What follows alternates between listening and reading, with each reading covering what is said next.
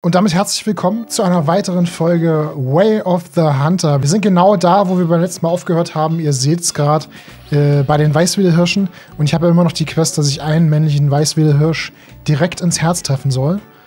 Also kein Aufpilzungsschaden, sondern Durchdringungs... Durchschlagschaden. Keine Ahnung, wie das heißt. Auf jeden Fall müssen wir das noch erledigen. Und äh, ja, viel Spaß beim Video. Let's go. Bleib stehen, bleib stehen, bleib stehen. Das ist sehr gut. Das ist ja sehr gut. Ähm...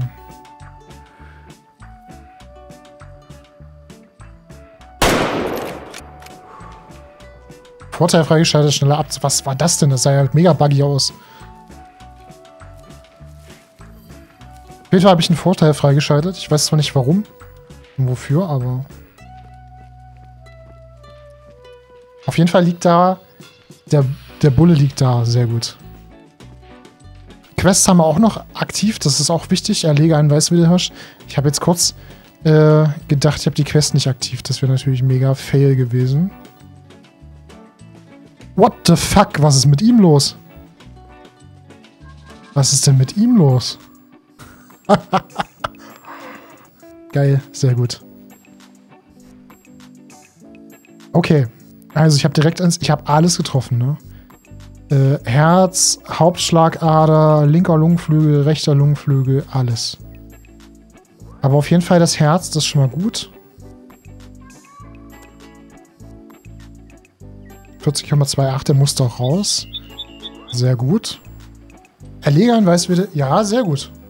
Sehr gut, haben wir, haben wir erledigt. Schau noch mal in äh, Faul, Volkovs Hütte vorbei. Wie spricht man das aus? Volkovs? Nun hast du erfolgreich deinen ersten Weißwiderhirsch erlegt in der Slowakei. Müsstest du dich nun auf das linke Knie knien, die Waffe mit der linken Hand auf die Erde stellen und mit der rechten den Hut vor die Brust halten. Aha, okay.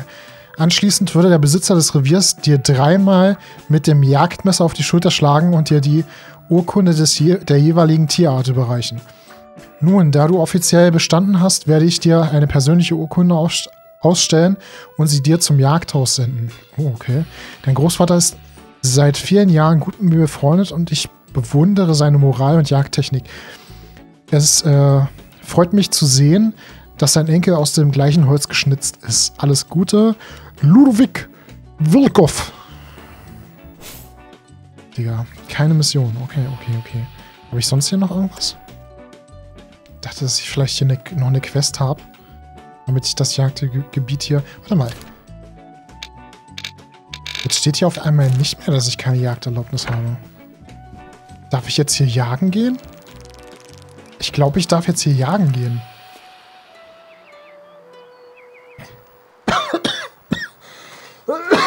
Weiche von mir, böser Geist. ist natürlich die Frage, was äh, haben wir noch so für Ziele? Wir wollten ein bisschen Quests machen. Löse das Rätsel und finde die nächste Kiste. Machen wir mal das. Äh, deswegen, ich, mich, mich äh, macht das immer richtig nervös, wenn ich äh, nicht streamen kann, beziehungsweise auch keinen Content für YouTube produziere. Und am Sonntag ist das letzte Video von mir hochgegangen. Das macht mich schon, das macht mich schon. Weißt du, was ich meine? Also ich finde, das Lager hat sich ganz schön geteilt. Es gibt Leute, die sagen, Way of the Hunter ist der größte Müll. Ich bleibe bei meinem alten Game. Und äh, dann gibt es auch Leute, die sagen, äh, in Call of habe ich jeden Stein einmal umgedreht. Ich will das neue Spiel spielen und sehen. Das Gute an dem Spiel ist ja auch, dass ich äh, auch höre, wenn was abspringt. Ne? Was du ja in Call of nicht so hast. Wenn da irgendwas wegrennt und du hast es nicht gesehen, dass es weggerannt ist, das war, war es halt für dich nie da. Du hast kein, äh, kein Signal bekommen, dass da irgendwas war. Und hier hört man auch, wenn die abspringen. Knackt dann Holz im Unterholz und das hört man. Da sieht man dann auch so eine Bubble. Ist mega gut. Hä? Oh, nö, ist das doch. Da ist ein, ein Schwarzbär abgesprungen. Sehe dich.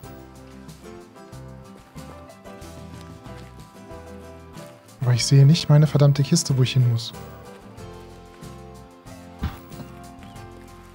Achso, warte mal, da gab es doch irgendwie...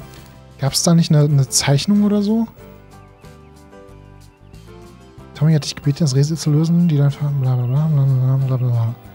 Blablabla, Da gab es, glaube ich, eine Karte, ne? Die kann, konnte man aber nur da sehen. Mir jetzt schon wieder zu doof, die Quest.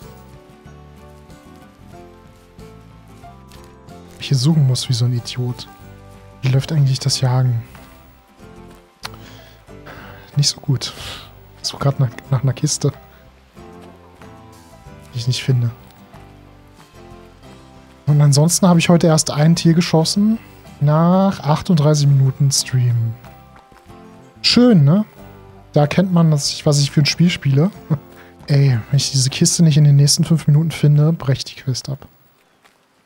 Ich habe da keine Geduld für. Es tut mir leid.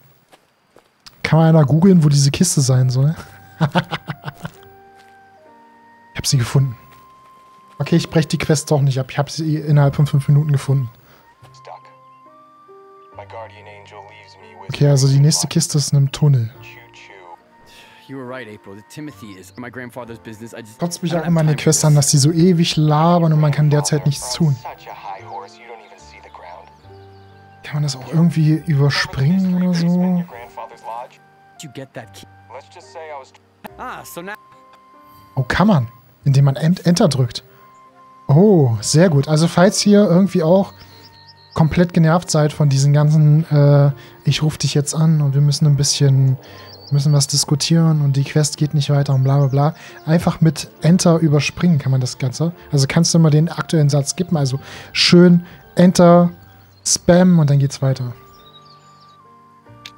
Ah, da müssen wir jetzt nächstes hin. Ich suche aber jetzt äh, hier oben erstmal die, die Weißwedel.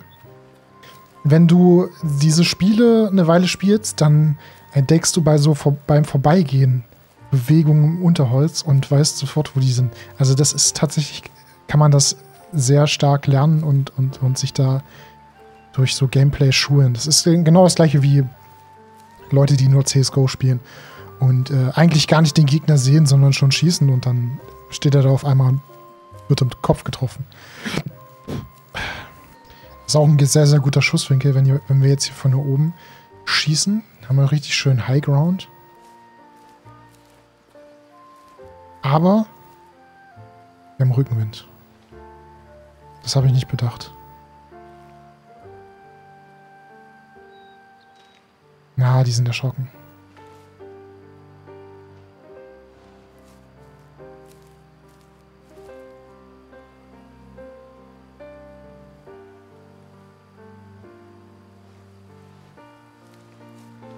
Ja, weil ich halt Rückenwind hatte. Mann. Okay.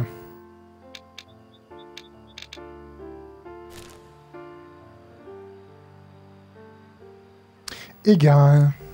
80 bis 100 Meter, das musste da sein. Da.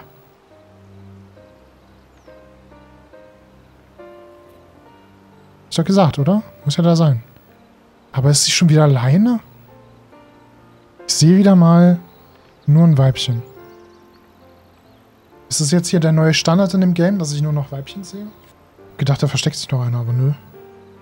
Ist nur sie.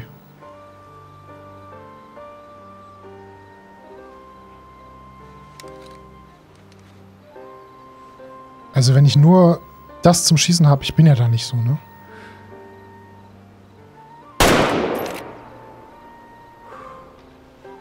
Bin da ja nicht so.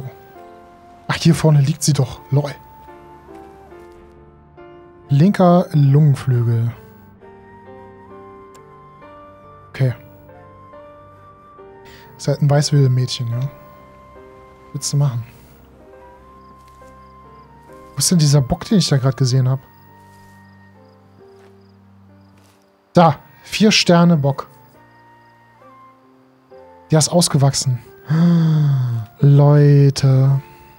Ich weiß nicht, was ich machen soll. Ich schieß drauf. Scheiß drauf. Scheiß drauf, ich schieß drauf. Den nehme ich mit. Den nehme ich mit. Ich werde es bestimmt gleich hart bereuen.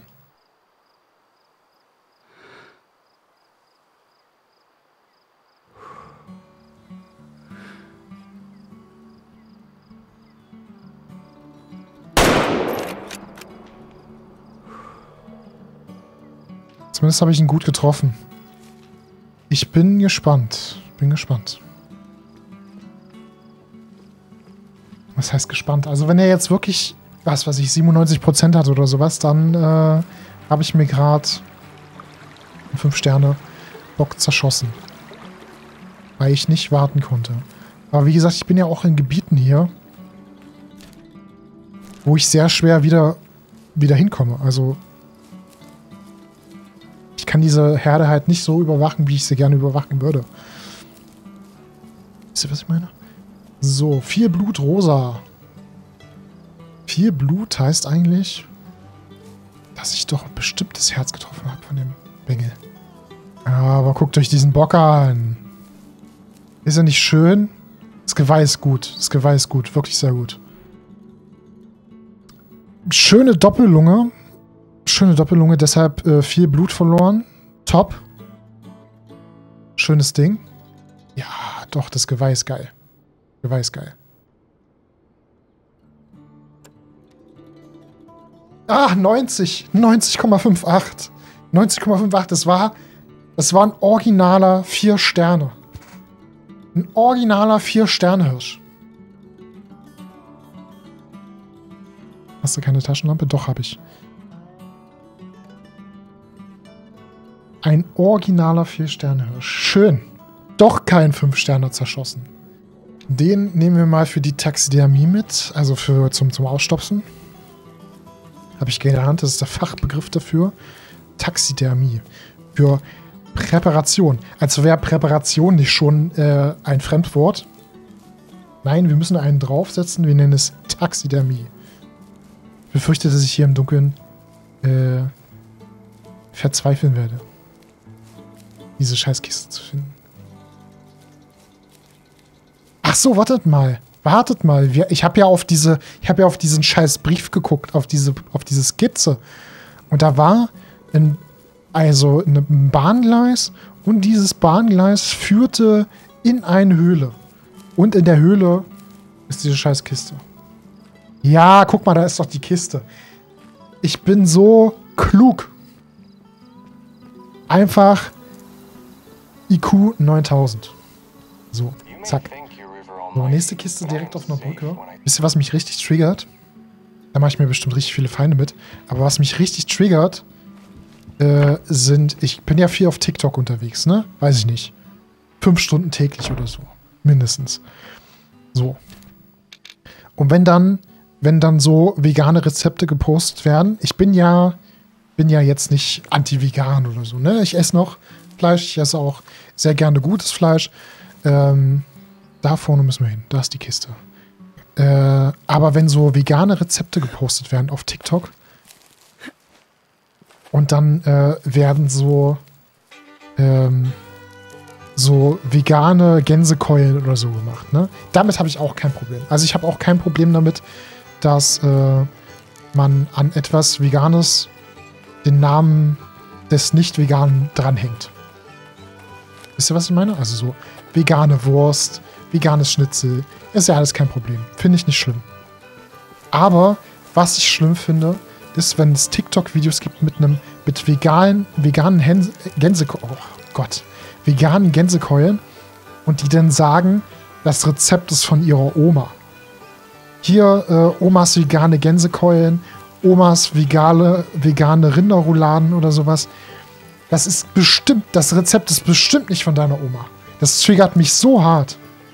Als ob deine Oma damals vegane Gänsekeulen gemacht hat. Ich, klar, die haben damals nur einmal oder zweimal Fleisch am, Wo äh, am Wochenende gegessen. Also die haben wirklich nur Fleisch am Wochenende gegessen. Aber die haben sich doch nicht die Mühe gemacht und haben sich vegane Gänsekeulen ausgedacht. Nein, da gab es was anderes. Da gab's, da gab's nicht so einen Scheiß. Wisst ihr, was ich meine? Klar, früher hat man sehr, sehr viel weniger Fleisch gegessen als heute, aber ich bin der festen Überzeugung, dass keine Oma sich vegane Gänsekeulen oder vegane von früher, das, das gibt's nicht. Das gibt's nicht.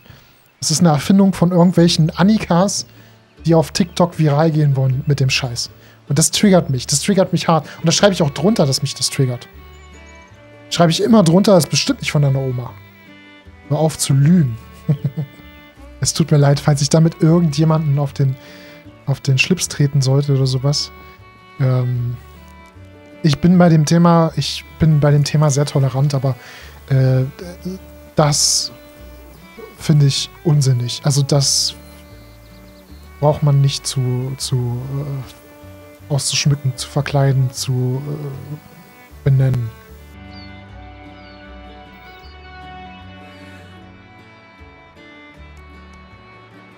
Oh.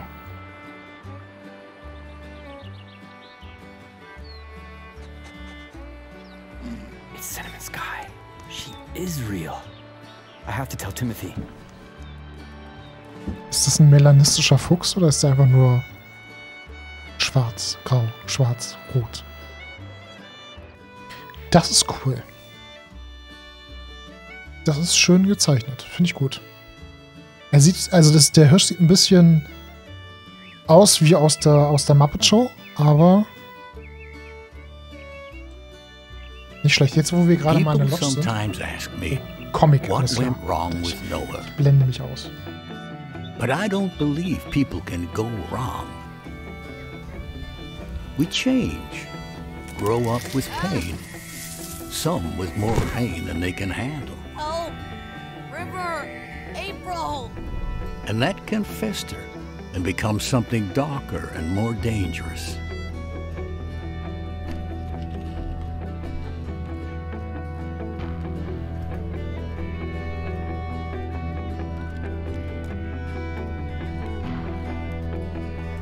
What are you doing? None of your concern. I don't know what you're trying to prove, but you won't shoot shit at night. Besides the fact you can't shoot, don't have a hunting tag, and this is definitely not a legal hunting hour. You snitch on me to Dad, and I'll never talk to you again. At that moment, they both knew something huge would happen that night. They just didn't know exactly what.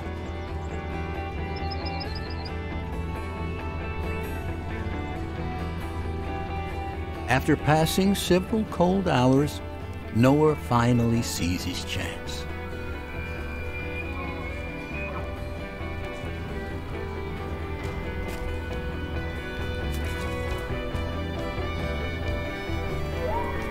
And in that moment, his desire to prove himself reached its terrible peak. Yes!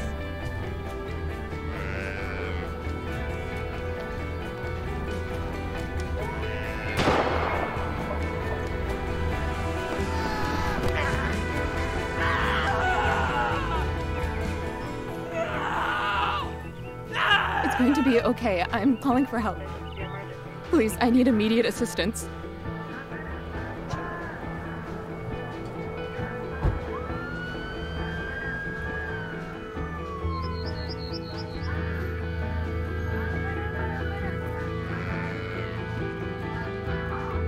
Sorry he hurt me.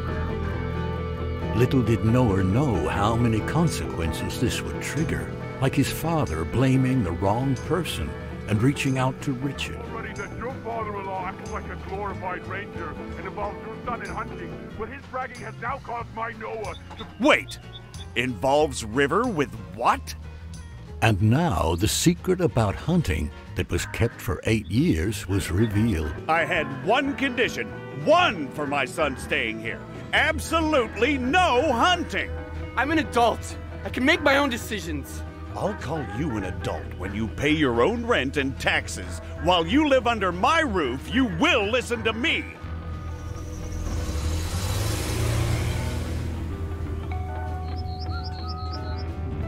What seemed like a terrible ending Your phone magically erased all the contacts again? River. Nurse Ellen was helping me with it, but she said she doesn't know how these old-fashioned phones work. Was just a very long pause.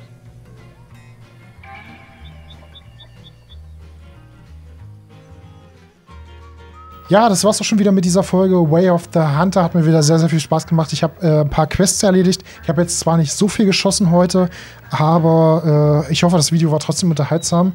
Ich wünsche euch viel Spaß. Beim nächsten Mal gibt es dann wieder äh, Call of the Wild. Und äh, ja, ein schönes Wochenende, eine schöne Woche, je nachdem, wann ihr das Video schaut. Macht's gut, bis dann. Ciao.